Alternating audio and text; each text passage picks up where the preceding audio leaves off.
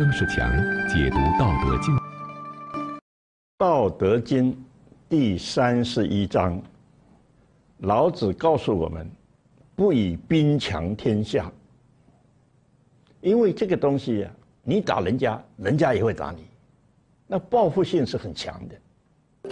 老子是这么说的：“夫兵者，不祥之器，物或恶之，故有道者不处。”他说：“战争这件事情，是一种不吉祥的手段。其实万物，都不喜欢战争，但是偏偏总有人喜欢发动战争。老子所讲的都是根据事实而来的。因此呢，他说：‘故有道者不处。’因此呢，有道之士，他是不会依靠武力的。”他不会。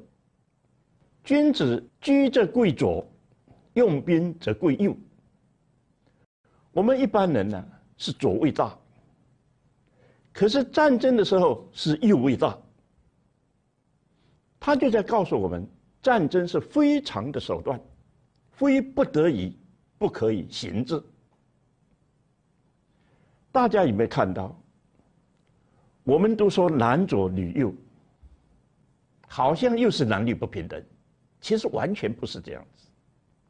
因为我们右手比较有力气，所以那女性同胞在我们的右边，我们随时可以保护她。如果在我们的左边，我们想去拉她，也许因为左手力量不够，还误了事。但是用兵就不一样了，用兵呢，他是不想。所以刚好采取相反的方向来警告大家，这是非常之事，不可以常常为之。革命也是一样，革命是非常的手段，如果常常革命，那国家是很乱，而且老百姓很倒霉。兵者，不祥之器，非君子之器，不得已而用之。凡是打仗，都是非不得已的事情。它不是吉祥的事情，所以如果君子常常用它，这君子就是不对，因为它不是君子应该常用的东西。只有什么？只有不得已而用之。但是我们看现在这个社会，刚好是相反的，拼命发展核武。我相信很多人都搞不清楚。为什么有些国家你发展核武就可以，人家别的国家发展核武就是不行？这什么道理？然后又说国际平等，这都事实。然后我有一千个核弹，你有十个核弹，我们说各减一半，各减一半，那算公平吗？他十个减掉一半是五个，我一千个减掉一半，我还五百个，那这算什么呢？所以我们现在一天到晚讲国际平等、国际什么，跟事实几乎都不相符嘛。现在我们造成一种很凄惨的，叫做恐怖平衡，天天吓唬来吓唬去，到处游行，哎，到处演习。你想吓唬谁？可是我们能不能因为读了《道德经》以后，我们就把它整个改变掉，由我做起？不可以，为什么？因为要等到中国再强大的时候，我们再来化解，这也是我们的责任。时机不对，我们暂且按兵不动，以静待变，这才符合自然的规律。接下来，老子又说：“恬淡为善。”什么叫做恬淡为善？就是你对战争这种事情呢？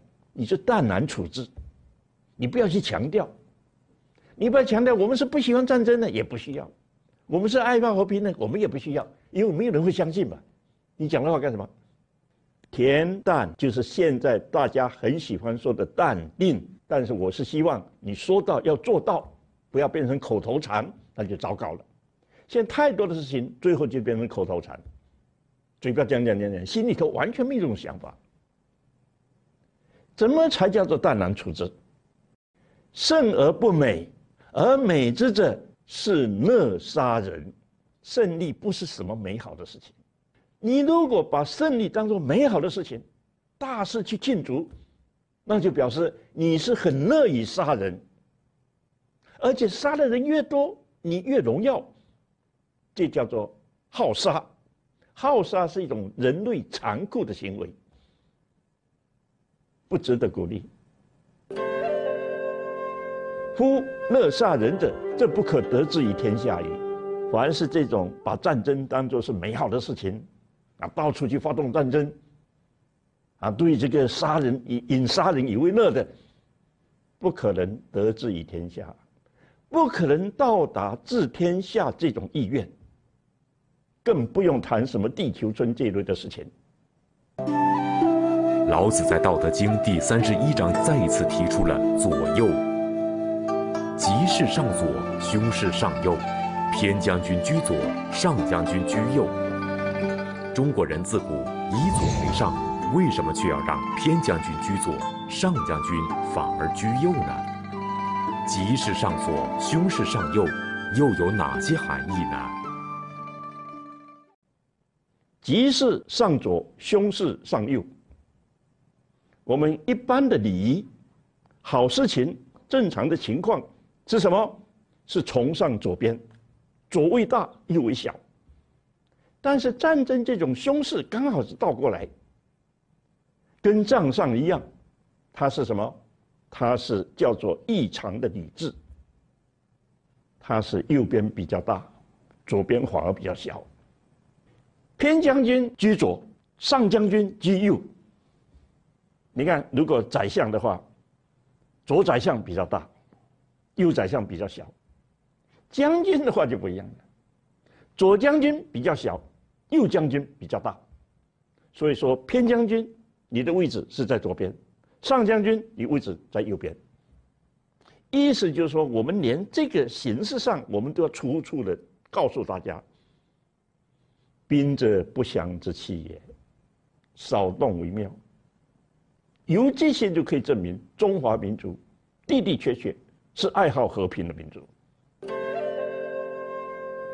言以上礼处置，就告诉我们这种事情，你把它当做家里有丧事来处理它。大家如果有机会去参加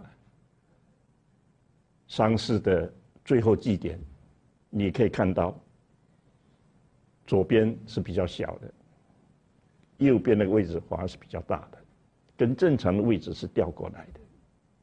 杀人之众，以悲哀弃之。因为，你战争免不了要杀人，杀人的事情是不应该庆祝的了，应该用悲哀哭泣来面对它，来处理它。所以，我们二次世界大战，我们胜利了，打败了日本。但是我们胜利纪念日好像我们不太去重视啊！有人就说我们胜利啊，我们应该要让全世界知道。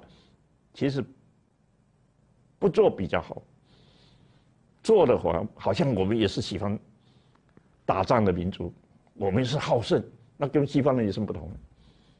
战胜以丧礼处置，战胜要把它当做丧礼来处置。表示以后不要再发生了啦，这不是什么好事情呢。老子他处在当时的社会，他对战争很厌恶，这个心情我们可以体会。但是，就算几千年后的现在，我相信大多数人也是不喜欢战争的。所以他这一篇呢，讲战争的事情，我们应该。好好的汲取他的教训，以战止战，而不是好战求胜。这样各位才知道，本来日本人要不要去祭他们的靖国神社，那是他们的事情，我们去管他干什么？但是我们会管呢，而且全世界都很紧张啊。为什么？就是因为你去祭拜，就表示你军国主义又要复兴了嘛。你要想侵略人家来了，那怎么不紧张呢？所以日本人老是说这是我们内政，这是讲不通的。你杀人，你发动战争，你侵略别人家，现在你说这是内政，这说不过去了。所以你从老子的整个的《道德经》，你可以看出来，他是把所有事情都搞得清清楚楚，然后才一个一个给我们分析说明。啊，希望我们真正把它当做为人处事，甚至于大到政治方面的宝典，好好的参考。